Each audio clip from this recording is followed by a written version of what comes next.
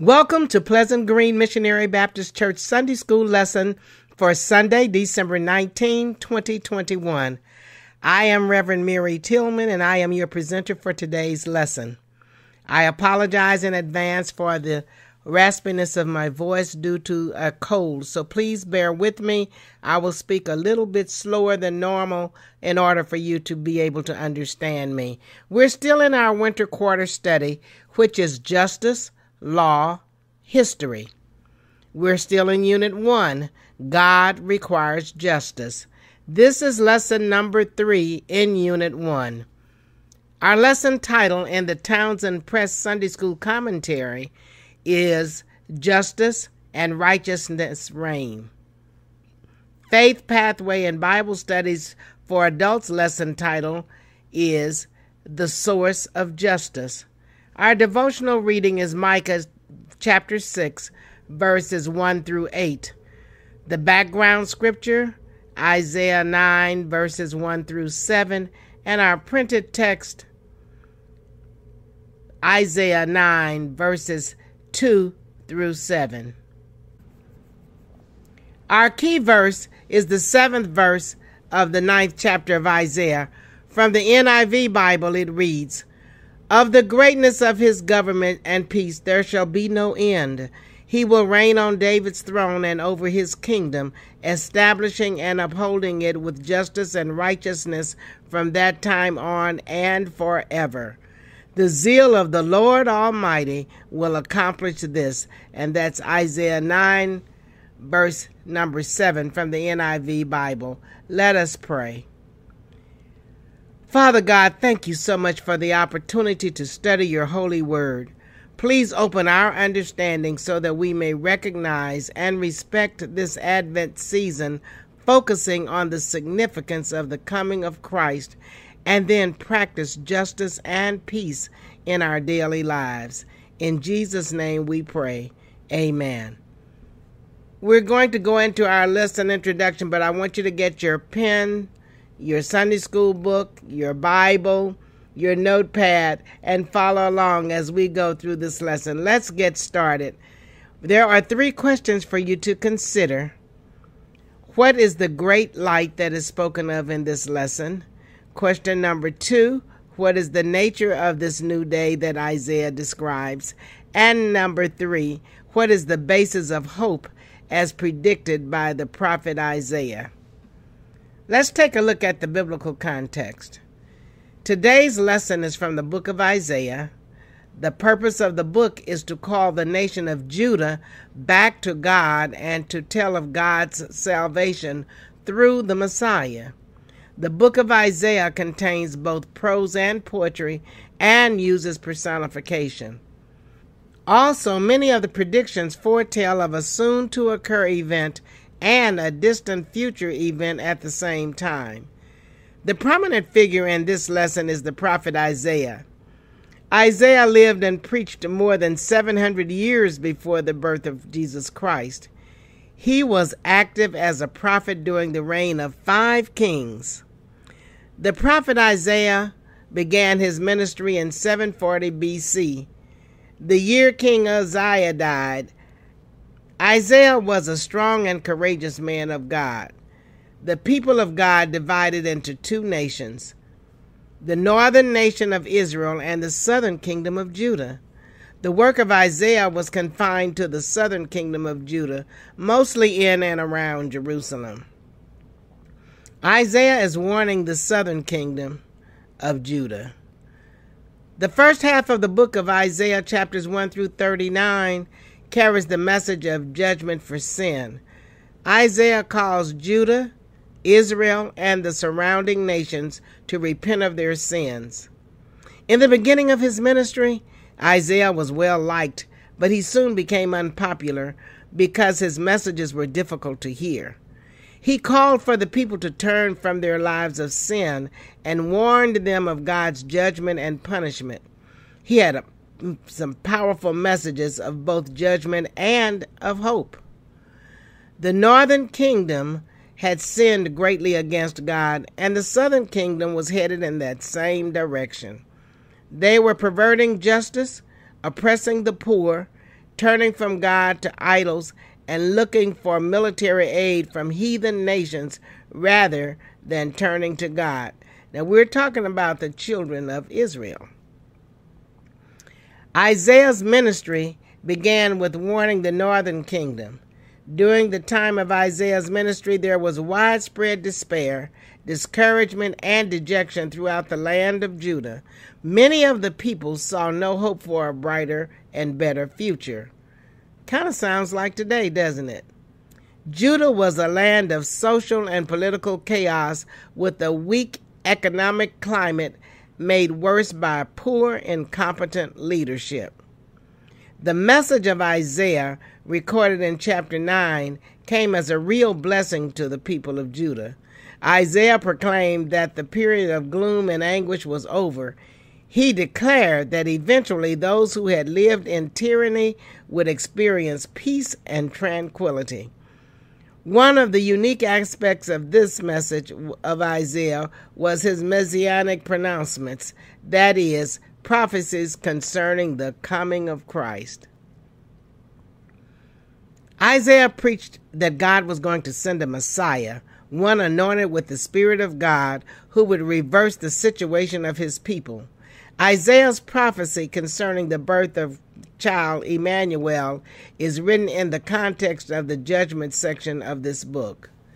Isaiah promised God's intervention and future deliverance through the Messiah, the source of justice and peace.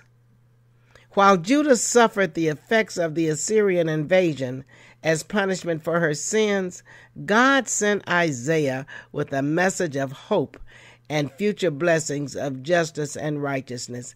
And my brothers and sisters, as we go through changes in our society, God always has a word from for us through our pastors and our ministers, messages of hope and future blessings, for he will he will reign, he will be in charge of what happens in our lives. God has a message for you, He has a message for me. And that's why we have to keep our hope built and steadfast in Him. Let us dive into this lesson. This week's lesson's aims are as a result of experiencing this lesson, you should be able to do these things. Number one, analyze the importance of this prophecy for the people of God in Isaiah's time and today. Number two, celebrate the justice, righteousness, and peace that the one called Wonderful Counselor, Mighty God, Everlasting Father, and Prince of Peace brings to God's people. And aim number three, share with others the hope of eternal peace and justice found in Jesus' reign. There are two lesson outlines in the Adult Pathway Sunday School book. I will share two key points from each of these outlines and expound some on each of them.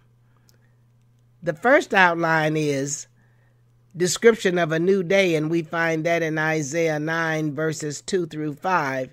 And the second outline is the source of permanence of a new day, Isaiah 9, verses 6 through 7. Let's look at outline number one description of a new day, Isaiah chapter 9, verses 2 through 5. The people walking in darkness have seen a great light. On those living in the land of deep darkness, a light has dawned. Verse number 3 You have enlarged the nation and increased their joy. They rejoice before you as people rejoice at the harvest, as warriors rejoice when dividing the plunder. In the scriptures, darkness is often used as a metaphor to describe one's spiritual condition. Likewise, light is seen as a metaphor for the presence of God or of righteousness. In verse 2, the people is a reference to the northern kingdom of Israel, which was plunged into spiritual darkness and political chaos when Israel split into two separate nations. King Jeroboam led the nation into a state of overt idolatry and we see this in 1 kings chapter 12 verses 25 through 33 As the practice of Jeroboam became the norm, the nation's leaders refused to acknowledge Israel's historic relationship with God. I want to stick a pin right here and say that when we allow wrongdoings to continue over a duration of time, wrong became becomes the norm and the people tend to forget what historically is the right thing to do. We've seen a change in our country's ruling over the insurrection of the White House back in January January 6th to be exact of this year. We all know it was wrong both morally and politically, but because of one man's force feeding of bad behavior, his followers are now saying that wrong is right. The practice of idolatry is the same as the practice of Jeroboam in 1 Kings. Brothers and sisters, nothing is new under the sun. The book of Ecclesiastes speaks to this very matter. This is why we must not only read, but study God's word daily, so that we can rightly divide the truth. Key point number one Jesus brings light in the midst of a world shrouded by the darkness of sin and human despair. Jesus is the light of the world. This new day was the becoming of the promised Messiah. Isaiah describes the nature of this new day. Isaiah proclaimed that God would honor his promise with Abraham to multiply his descendants and increase their joy like that of harvest time or being victorious, as we read in verse number 3. Verses 4 and 5 reads, For as in the day of Midian's defeat, you have shattered the yoke that burdens them, the bar across their shoulders, the rod of their oppressor. Verse 5 Every warrior's boot used in battle and every garment rolled in blood will be destined for burning, will be fuel for the fire.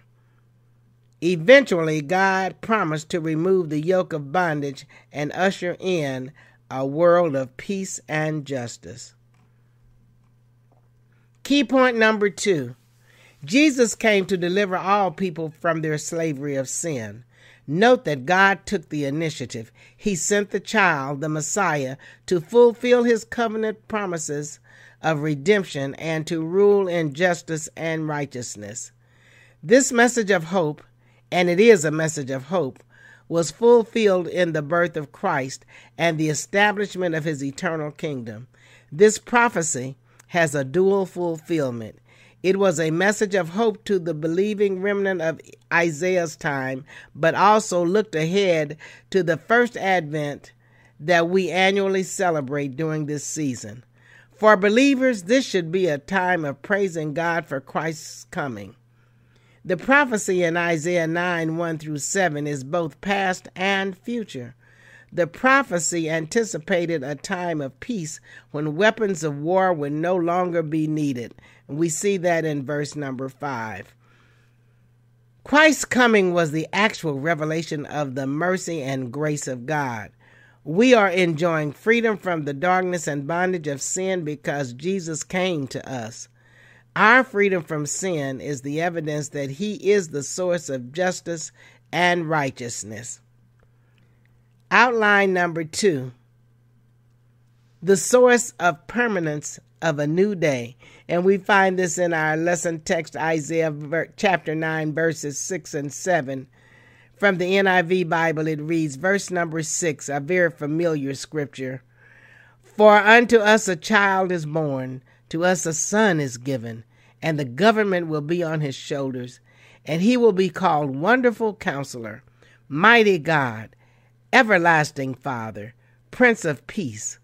Verse number seven Of the greatness of his government and peace there will be no end. He will reign on David's throne and over his kingdom, establishing and upholding it with justice and righteousness from that time on and forever. The zeal of the Lord Almighty will accomplish this. Key point number one God used the prophet Isaiah to announce the coming of Christ as the Messiah. Isaiah prophesied the birth of Jesus Christ in verse number six. Jesus Christ is the Son of God, born in Bethlehem, fully man and fully God. Key point number two Jesus has come to take away the sins of the world. Isaiah uses four descriptive names to explain his character, beginning with Wonderful Counselor, whose wisdom exceeds even that of Solomon and in sharp contrast to all of Israel's rulers and future rulers. We have access to the counsel of God through the scriptures, prayer, and the guidance of the Holy Spirit. He will be called the mighty God. As the mighty God, he will exercise the power of God in his rule. His power is greater than all the minds of all the people who ever lived put together. What a mighty God we serve! He is the source of our spiritual strength and power. He is the everlasting Father, who is the same yesterday, today, and forever. He changes not. Everlasting Father speaks of his eternal nature that identifies him as God. He promised he would never leave us or forsake us. In Matthew 28 and 20, Jesus said, And lo, I am with you always, even to the end of the age. The Prince of Peace. The Prince of Peace. Christ is the one who will establish and maintain peace for Israel and during the, his reign in the millennial kingdom. Today, as our Prince of Peace, we have a personal relationship with Jesus Christ and are heirs to the kingdom. This allows us to have that perfect peace that only He can give. We read about that in Isaiah chapter 26, verse number 3. In verse number 7, Isaiah made three profound statements about the new king. One, his government shall have no end. As a descendant of King David, his reign would be continuous. Number two, the reign of the new king would be built upon a foundation of judgment and justice. And number three, God's zeal and commitment for good toward his people would ensure that these things were realized. In summary, Isaiah proclaimed that a son, the Prince of Peace, would be given.